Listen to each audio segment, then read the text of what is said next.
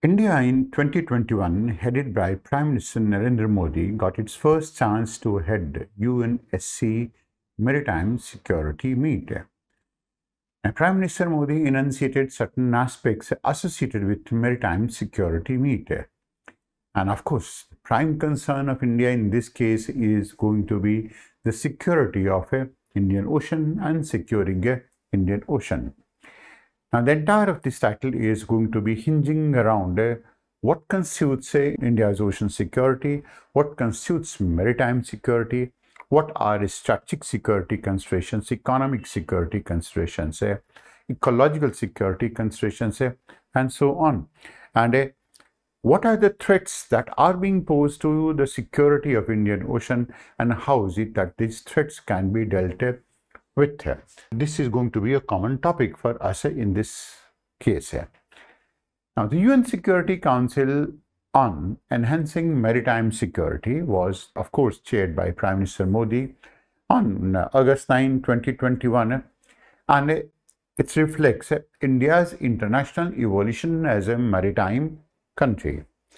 Now, why is it that we go on to talk about India's international evolution as a maritime country? Is because the perception that is in front of the world is that eh, India has not been a seafaring country, but that is a narrative that colonial countries have built up. That is, Britain has particularly built up. Germany at one point of a time built up. Eh? And why is it that they, they built up this narrative? Of course, that was to downgrade India. And it is for all of these reasons that Indian history needs to be rewritten of sorts. It is for all of these reasons eh, that we understand eh, that India had been the greatest eh, naval power ever imagined by the world. That was during the Chola period. India has been the greatest country in this case. And of course, eh, India had had a lot of kingdoms like the largest kingdom that was existing during the medieval period. And it was not Mughal, it was Vijayanagar that the grandeur of Vijayanagar was seen to be believed. And uh, of course, it is these aspects uh, which are not in the front of international community. And uh, that is why they go on to talk about India's international evolution as a maritime country. Now, talking of it, we are concerned of the objective. So, international maritime cooperation came to be one of the topics and the objective of the debate at that point of a time or at this point of a time had been very different. It has been international maritime cooperation. That has been the topic, international maritime cooperation so as to respond holistically to the natural and man-made threats, both of them, natural as well as man-made threats to maritime security. So cooperation can be imagined only when uh, the objective is very, very clear. That means all of these countries of the world going to bring themselves together and uh, they respond uh, to any type of a threat, any type of a problem. And that not in a isolated manner, not in silos, but is going to be in terms of natural and man-made threats in this case.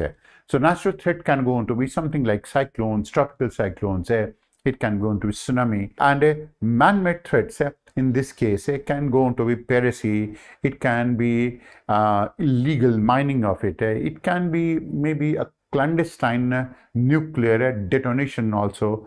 Any of these things human beings are capable of doing much more damage and in variety of ways as well in this case now, India is well placed in this case. Eh, why is it that India should be concerned of maritime security? Is eh, because of a a variety of reasons.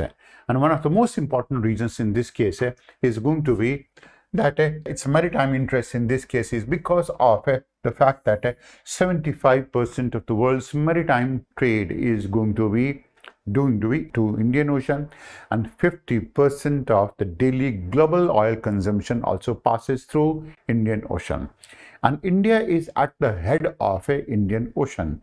Being at the head of Indian Ocean, India has a lot of uh, advantages and because India has a lot of advantages consequently India also goes on to be putting some amount of a responsibility towards it as well. Now, to this effect, uh, Prime Minister Modi did say that the oceans is our common heritage, which is facing uh, many challenges. This was one of the statements uh, that he, he, went, he went on to make. And it, indeed, there are going to be challenges. And if you can go on to talk about uh, some of these type of challenges, you will go on to observe that, that is all of those countries, all of these countries going to be known for something different. Myanmar for Sittwe port, export for weapons, Malaysia, joint patrol, Air Force training as well. Singapore can be used for the purpose of a joint exercise as well. Pick up any one of them. That is, a, Iran is a, going to be significant because we have been constructing Chabahar, although it has been in limbo of sorts. Eh. UAE has been holding cooperation in India's oil reserves. Eh. Oman has been a of course, it has a permission for Indian Navy to be part of it. Seychelles is a, and all of these countries, Seychelles is going to be based on the assumption that of course, it is pending. Mauritius is a naval communication facility that is being constructed. Madagascar again naval communication facility. Diego Garcia is going to be one of those bases. Maldives is petro provision of petrol engines. So different places in the Indian Ocean, India is seeking a variety of different type of uh, cooperations in this case. The need for such type of uh, uh, maritime cooperation in Indian Ocean is uh, essentially guided by many factors. And one of the most important factors one can imagine in this case eh, is eh, going to be associated with a disregard shown by China. This is going to be the most important threat. So China completely disregards maritime laws, maritime rules, maritime protocols. and in this case, the rule of law has not been uh, established in this case. It has been uh, unprecedented. That means it has been being broken most of, uh, most often, most often. The nine dash lines, that is one that is going to be claimed by in the South China Sea, is uh, something that is uh, a tantamount to such type of a breakage of uh, and wreckage of the rule of uh, law in this case. Of course, China has been using a lot of force in this case. Eh? That again goes to necessitate eh? India's concern with respect to maritime security. And eh, of course, it has added fuel to the fire that is a international court of justice has rejected arbitration's judgment in this case. But then, since uh, South China Sea has undergone a sea change because of militarization of the whole of the region. Consequently, one can understand uh, the growing concern with respect to whole of Indian Ocean. And not only ocean, that is uh, anything that is going to be connected to Indian Ocean. That is uh, the choke points as well, the openings as well, all of them. Now, to this effect, the United Nations has a law that is uh, what we going to call it uh, by the name of uh, UNCLOS, United Nations Convention on Law of Sea. It's the name that is going to be given to it. United Nations Convention on Law of Sea that is called as UNCLOS. UNCLOS is essentially a rule-based maritime order embodied United Nations Convention on the Law of Sea and it was to benefit it is a further purpose that has benefited all the countries that are under so-called serious threat. Of course, eh, it was one of those type of laws eh, in which all the countries were brought together, were to be brought together, but they have not been brought together so far in this case. Eh. That has been the case here. Now, that is always going to be a problem. Now, despite UNCLOS, despite UNCLOS, there are still uh, issues associated with um, our oceans eh? in the South China Sea and other places as well as you can go to find it. Eh? The issues are many. For example, there are dangerous encounters. Eh? South China Sea, it is even more. Dangerous encounters in the sense that is uh, the Chinese keep on encountering sometimes Americans, sometimes Indians, sometimes Taiwanese, sometimes Philippines. Uh, and that is dangerous largely because that can anytime turn into a full-fledged, full-blown war also. Then there are a lot of provocative actions as well in this case. Eh? And when we are going to be talking about provocative actions, eh, we are eh, essentially talking about eh, some of these actions which are not at all required. Eh? They are a means and measures to provocate some of these countries to do something nefarious in this case. And how many times is it that a country can go on to hold itself in this case it's like uh, insulting a country quite often and uh, then expecting that these countries will not go to work at all. Then there are unlawful maritime claims in this case uh, that is one of those type of claims that we are talking about that is a 9 dash 9 that is an unlawful maritime claim. And that is indeed one of those type of claims which happens to present some type of a problem in this case. So we require to think about a maritime security and this is what exactly has been talked about it. The most important components of maritime security happen to be associated with uh, sea routes. We are talking about these sea routes uh, and uh, which are being used for the purpose of piracy as well as for terrorism. And the countries that are going to be using it, of course, Ethiopia, Somalia are going to be one of them, Somalia in particular. But even more dangerous trend is that they are being aided by other countries to do it more and more, and they are guided by it, eh, and they're also encouraged by other countries eh, to be doing it on a frequent basis as well. The strategic security consideration in this case has to be that the oceans has to be prevented that by an absolute control absolute control of anyone. Anyone, that means we are talking about any country concerned, not only India, but everywhere. Of course, in Indian Ocean, eh, we require to prevent an absolute control of the ocean by the Chinese. Eh. And of course, we are going to be talking about choke points. Eh. Now, by choke points, we mean there are some of these points through which some claims can go to be made. This is going to be one of these choke points. That is going to be Malacca Strait. Then there is going to be another one that you can go to find it uh, here that's the place. This is going to be another of this place that is going to be choke point. That's another one that is hormuz strait. Bab el mandeb strait is going to be another one in this case yeah. then uh, red sea is going to be another part of it. Uh, these are choke points uh, in uh, one of these portions uh, and uh, the most important of this choke point here is going to be malacca strait so that is going to be a part of it. That is going to be a component eh, of it. Eh. Second is a uh, maintain a strategic security. That is a, going to be done through constant surveillance. And surveillance that means a, a surveillance of a, anyone concerned or a consortium of countries that can go on to have this type of a surveillance uh, to prevent some of these type of unlawful act activities. Third is to prevent a stealth survey and for example, one of these stealth surveys, that means a stealth survey is something like a, a camouflage survey. That means a country sneaks in, tries to do some type of a survey with certain type of a design, and of course, uh, some associated technologies of a stealth survey and its uses as well. For example, one can go to come in and can go to uh, do the entire survey of uh, the Mariana Trench. Now, without the global community knowing it, that that is a survey that is being done, that is always, always going to be dangerous in this case. here. Dangerous to the world community. That has been one component of a strategic security. Other component, the fourth component is make it UNCLOS compatible. UNCLOS compatibility is significant. And why is it that we're going to be saying it so? UNCLOS incompatibility because there are good number of countries that have not signed United Nations Convention on Law of Sea. And unless they happen to sign it, eh, there is no way that they will going to comply with it. Eh. So that without it, there will be no way that it can go to have some degree of strategic independence as well. And we are going to be talking about that Indian Ocean requires to be independent eh, to such an extent eh, that eh, it shouldn't go to become a zone of conflict at all.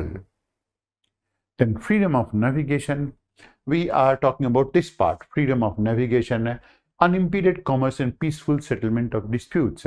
Because so much amount of trade passes through it, then every country must go on to communicate. Every country must go on to navigate it easily. And uh, unless it goes to navigate it easily, there'll be always some disputes. Uh, and then if even if that there are disputes, uh, there must be a peaceful settlement rather than through subjugation. One of the objectives to prevent maritime crime is a preserve marine ecology. That is going to be one of them.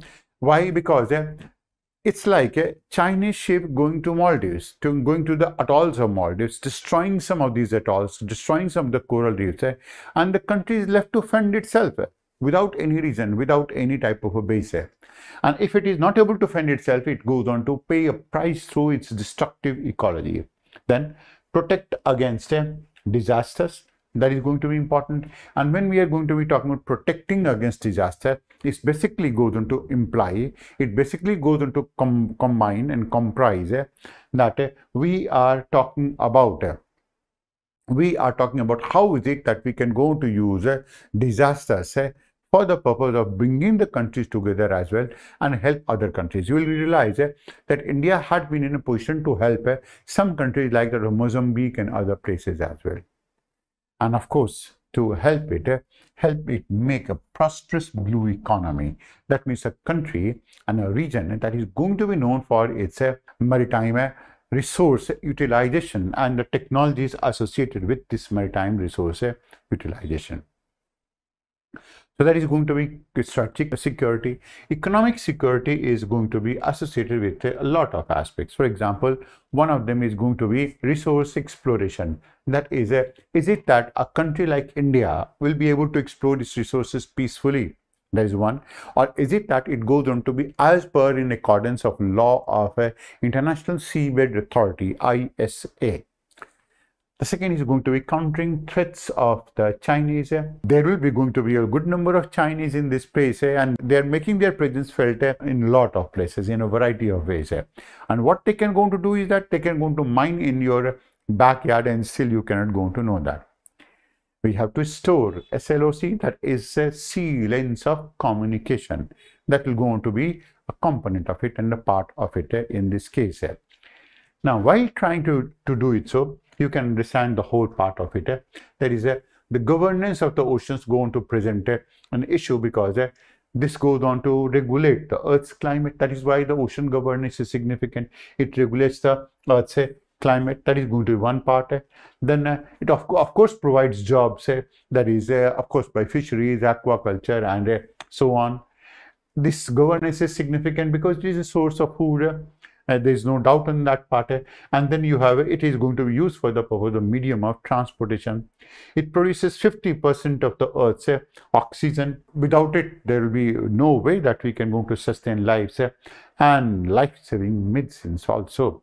And when we are going to be talking about life-saving medicines, we are talking about something that is known to us right now there will be a lot of things that will be not known to us and still it will be able to provide it to us. As a part of economic security, one of these components is going to be preventing commercial threats. And when we are talking about preventing commercial threats, then of course we are talking about how is it that a piracy of the coast that is taking place out of Somalia since 2007 can be prevented or can be managed.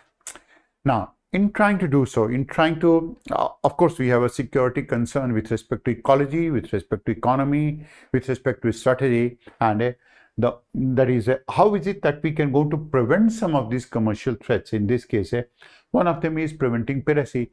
And india has been trying to monitor and participate in a unsc mandated 60 country contact group in order to prevent this type of a piracy.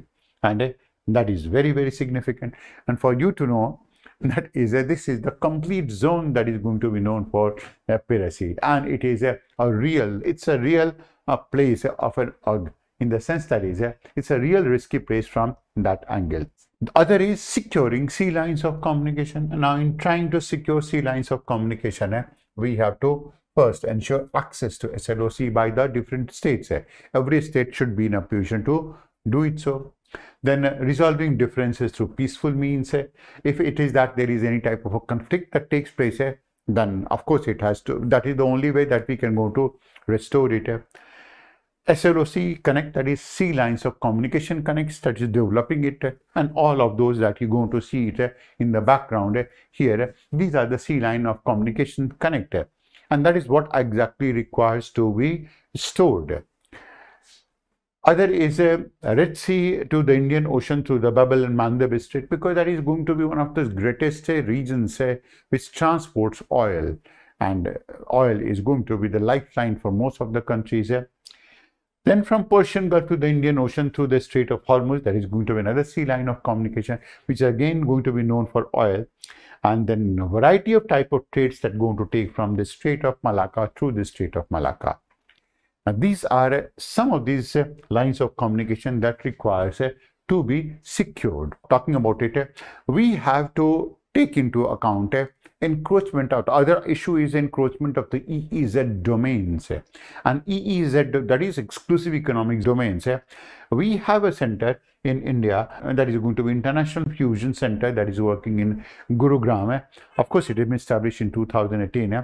And that talks about technology cooperation, environmental security, that is how exactly, if there is a type of environmental disaster, then countries can go to join together in this case.